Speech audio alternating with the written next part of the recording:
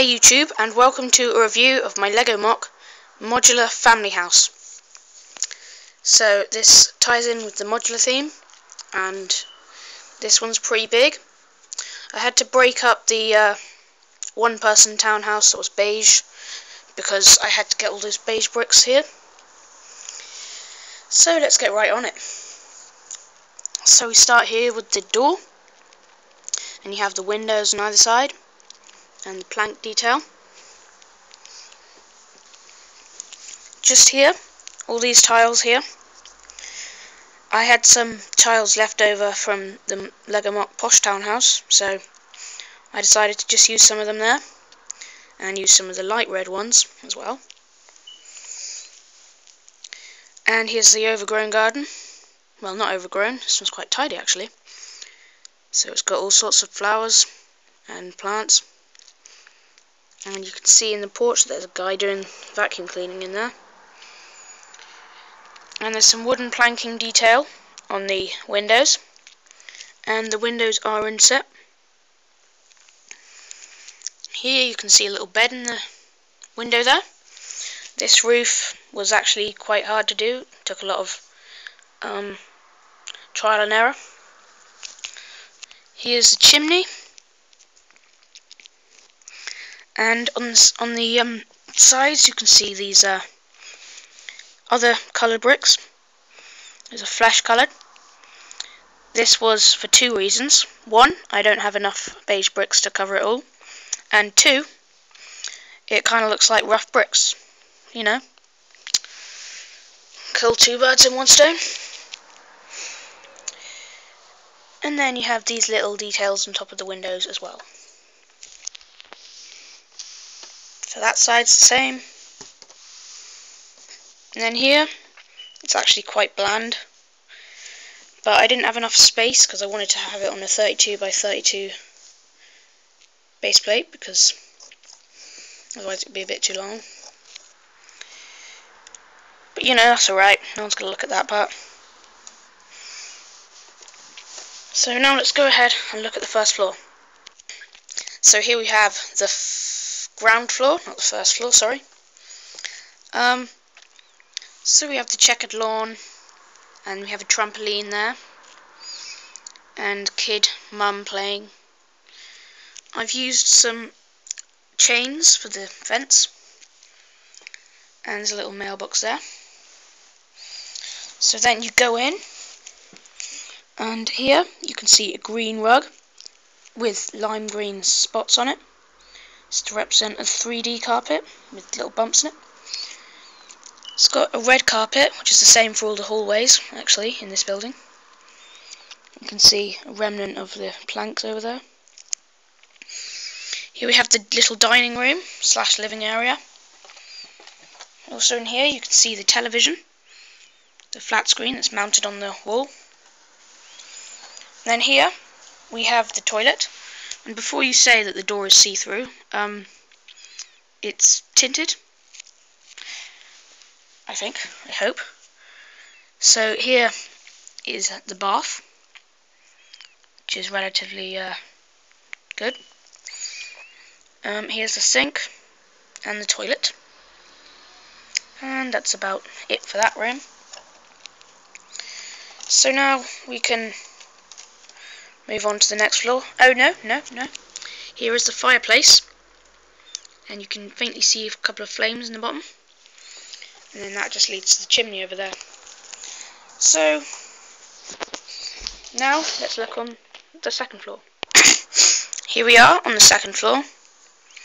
And here is the little hallway. Again with the red carpet and the red stairs. You have a little window into the kitchen.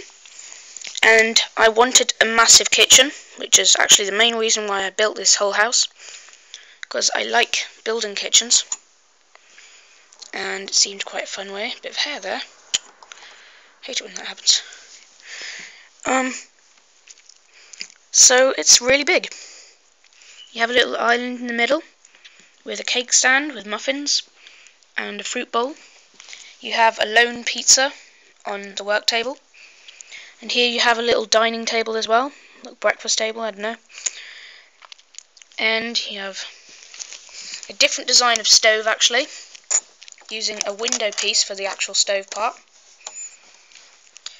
um, you have a coffee maker a fridge a, a blender and that's a juicer this is what our juicer looks like anyway um, you have a sink and you have a certificate of graduation. Which are unrelated things. And then you've got the big windows so you can see outside pretty well. It's quite nice. So now let's move on to the third floor the attic. So the attic is where all of the bedrooms are located. But before we look at that I forgot to tell you one more thing about the outside if you look here, you have these profile bricks that give it some decoration around the sides of the windows. So now that's done, let's move on to the attic. So I've got these little bumps here, give it a little decoration. This was actually quite a irritating roof to make, mainly because it's very hard to make a nice roof, actually so that was quite annoying. And also I had to make it openable so that enough enough of the bedrooms were seen, which was a challenge as well. So let's go in and see. What I've done for the roof is when you take it out, you take out the bits in between the windows as well. So that's that, and you take out a bit of the roof as well. And here we are. And I think this provides enough light. So we have the tumble dryer in the corner. We have a little brown hallway there. And then we have the same style of doors everywhere. So here you can walk into the parents' bedroom, which consists of one double bed, and that's it. There wasn't enough space for the bedrooms.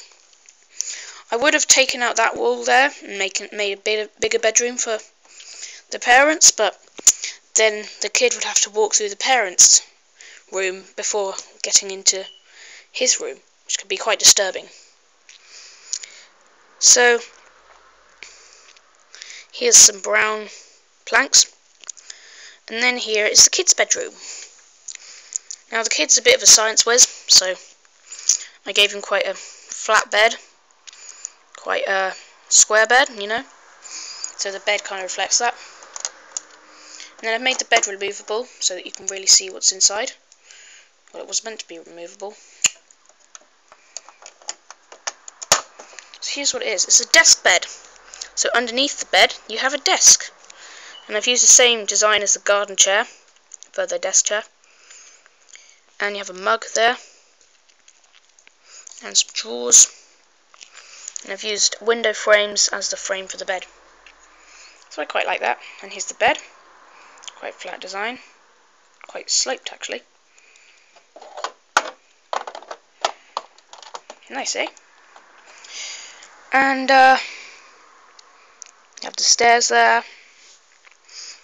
And I think that is about it. So thank you for watching this video. I sincerely hope that you enjoyed this. So please subscribe to keep getting more. So please like, comment, subscribe and share.